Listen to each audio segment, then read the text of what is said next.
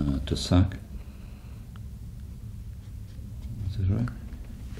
Um, to take a breath, to suck and suckle and Qam. Yeah, fine. Uh-huh. To swallow. Qamam. Again. Qamam. Hat. Qmut. Again. Qmut. Uh, to stop, a car stopping. Stick.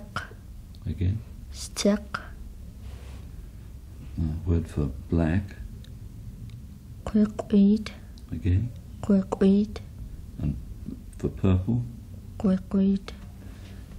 Now, tell me about those two words. They're very much alike. Just so tell me quite. Uh, how. This. Um, did you move this up here? No, I think we we we, uh, we had those two earlier on. If we stop. So we can come back to the one for black again. Quickweed. Again. Quick, quickweed. And for purple. Quit. Again? Quit. Now can we have those one after the other? First of all, the one for black and then the one for purple.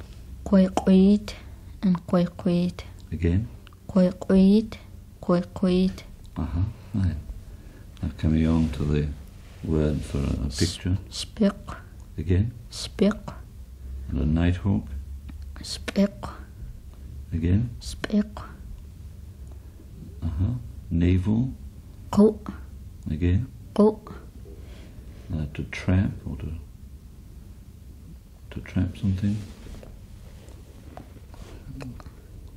Not to worry about that. Let's, let's omit that one for the moment. And uh, we did have the word meaning he traps it. I think. Uh, how would you say he traps it? I think it's Qantas Yeah. Again. Qantas Uh, the word for wet. Sitlat again. Sitlat Uh huh.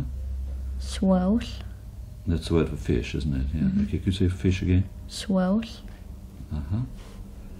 Uh, blueberries Sisep again. Sisep Okay. Fly Khmeya again.